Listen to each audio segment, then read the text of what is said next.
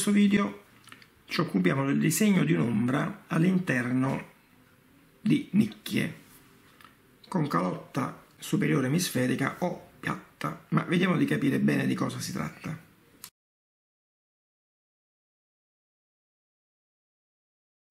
La nicchia è sostanzialmente un, un elemento cavo ricavato nel muro di una struttura architettonica che può avere appunto una copertura a calotta emisferica.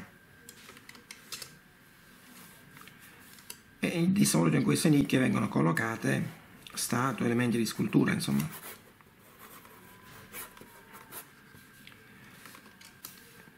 I raggi luminosi del sole producono un'ombra all'interno di questa cavità che cambia a seconda del tipo di copertura della nicchia, che può essere, ripeto, a calotta emisferica, oppure, per esempio, può essere una copertura piana. La nicchia ha comunque una pianta semicircolare, ma la copertura superiore è pure semicircolare ma piana anziché semisferica.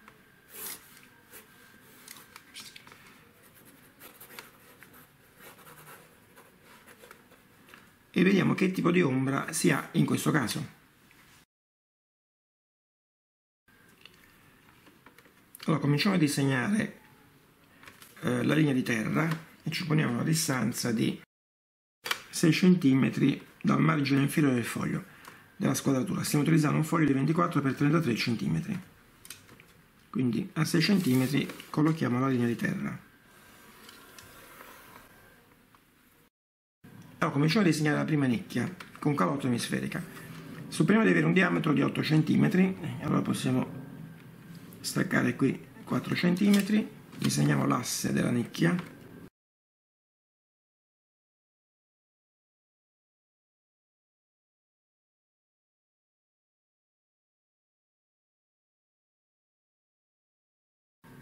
Da questo punto portiamo giù questa linea e disegniamo la semicirconferenza che rappresenta la nicchia vista in pianta. Quindi centro in questo punto e disegniamo questo semicerchio. Questa semicirconferenza più esattamente, che rappresenta la vista in pianta della nicchia. Portiamo dunque su questa estremità, prolunghiamo questa linea. Supponiamo che il piano d'imposta della copertura si trovi a 9 cm al piano orizzontale. Quindi disegniamo questa linea orizzontale.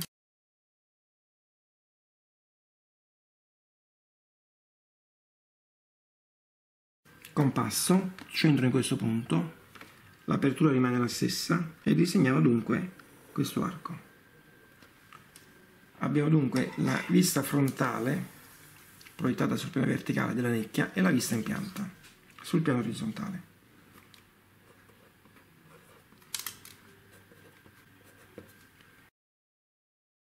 E ora supponiamo che i raggi luminosi abbiano un'inclinazione pari a quella della, della, diagonale del cubo che ha per faccia anche questo piano verticale e questo piano orizzontale.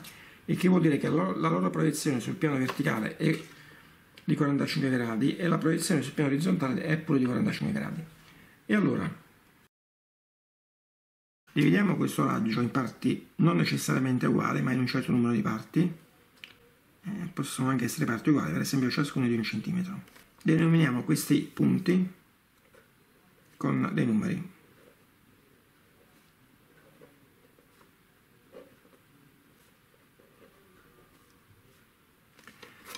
Portiamo su questi punti fino a incontrare l'arco visto in prospetto.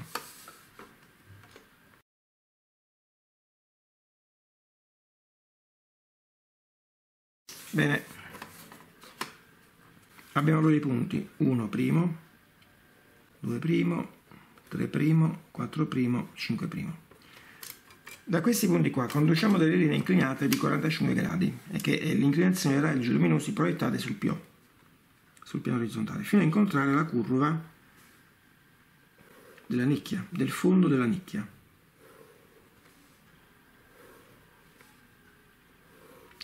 Otteniamo questi punti di intersezione dai quali tracciamo delle linee verticali.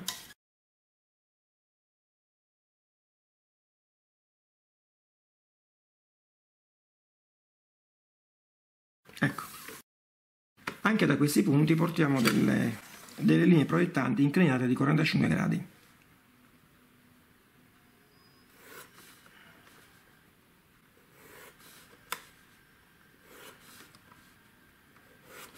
Tracciamo anche questa linea proiettante. Bene, e allora, per il tracciamento dell'ombra, per l'individuazione del contorno dell'ombra interna alla nicchia, partiamo dal punto 1, questo raggio luminoso si spezza qui, sale e incontra la proiettante dal punto 1 primo in questo punto. Dal punto 2 secondo abbiamo questo raggio luminoso che si spezza sul fondo della nicchia, sale e incontra il raggio che parte da 2 primo in questo punto. Il punto 3, dal punto 3 secondo parte questo raggio, qui si spezza, sale, incontra il raggio che parte da 3 primo in questo punto.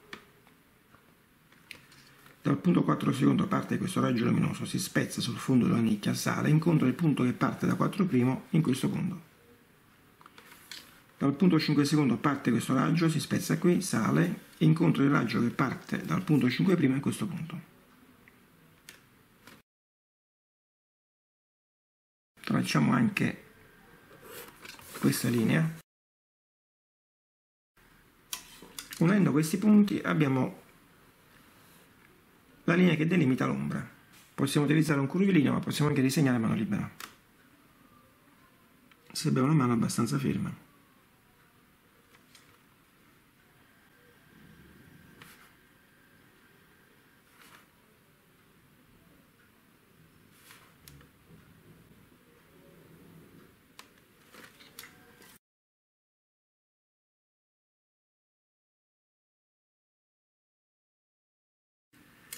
Questo è il contorno dell'ombra. Possiamo ricalcare il contorno anche della nicchia con pennino di spessore maggiore se disegniamo a penna, con matita morbida se disegniamo a matita.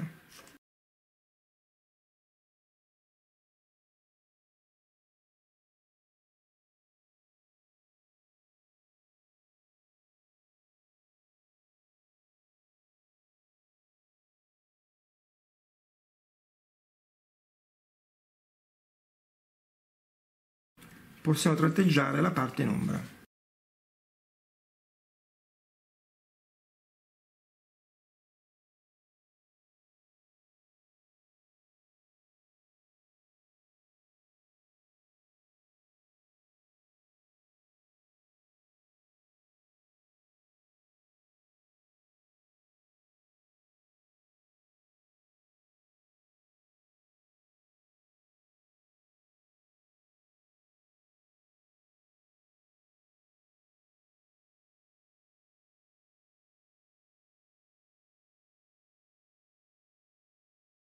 Bene, possiamo passare ora al disegno dell'ombra all'interno di una nicchia che abbia la copertura piana. Nicchia sempre a base semicircolare.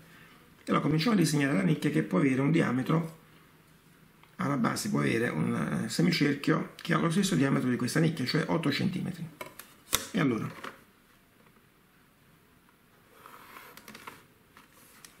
posizioniamo più o meno l'asse qui,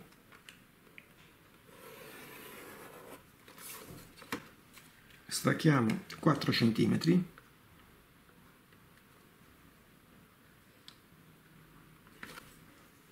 disegniamo quindi questa semicirconferenza con il centro qui.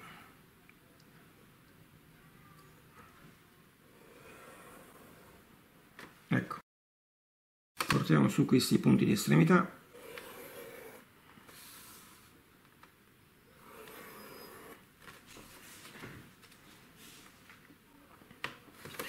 Supponiamo che l'altezza della nicchia sia pari al punto di sommità di questa nicchia a calotta emisferica.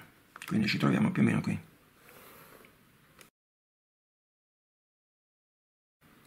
Disegno delle ombre. Allora, come abbiamo fatto nel primo caso, dividiamo questo raggio in parti non necessariamente uguali, ma in un certo numero di parti.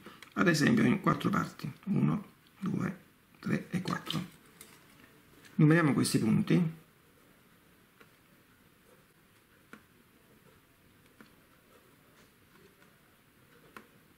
Da questi punti portiamo su delle linee verticali fino a incontrare la copertura piana della nicchia bene. Abbiamo i punti. 1 primo, 2 primo, 3 primo, 4 primo, 4 primo, 5 primo. Da questi punti linee inclinate di 45 gradi sono i raggi luminosi proiettate sul piano orizzontale fino a incontrare il fondo eh, cilindrico della, della, della nicchia.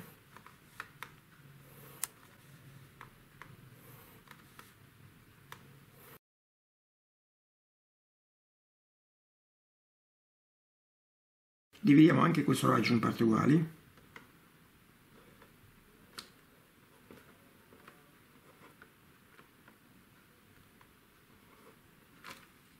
Tracciamo questa linea inclinata di 45 gradi.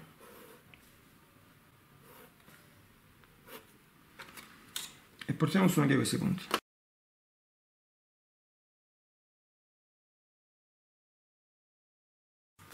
Abbiamo allora 6', 7', 8' e 9'.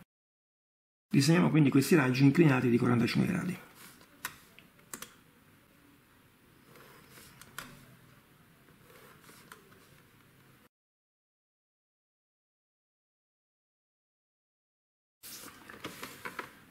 Allora, per il disegno dell'ombra individuiamo i punti per i quali passa l'ombra, la linea che delimita l'ombra, interna alla nicchia. Punto 1 secondo, parte questo raggio, si spezza sul, sul fondo della nicchia e incontra questo raggio che parte dal corrispondente punto 1' qui. Punto 2 secondo, parte questo raggio, si spezza sul fondo della nicchia, incontra il raggio che parte dal punto 2' in questo punto.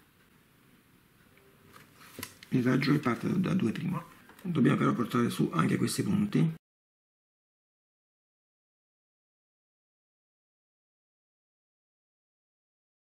Allora, dal punto 3 secondo parte questo raggio, si spezza in corrispondenza del fondo della nicchia, parte, eh, va su, incontra il raggio che parte da 3' in questo punto. Punto 4 secondo, parte questo raggio, si spezza sul fondo della nicchia, sale su, incontra il raggio che parte da 4' in questo punto. E così via, 5 secondo, si spezza, incontra il raggio che parte da 5' qui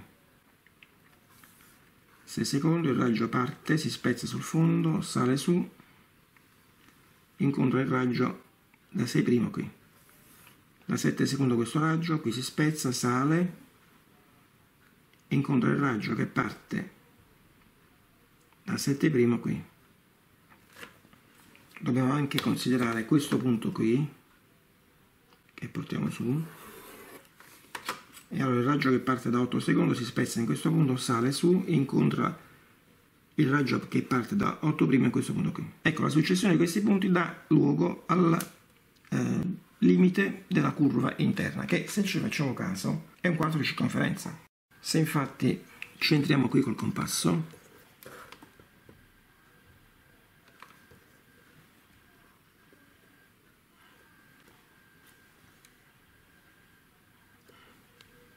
Questi punti si trovano allineati lungo questo arco di circonferenza.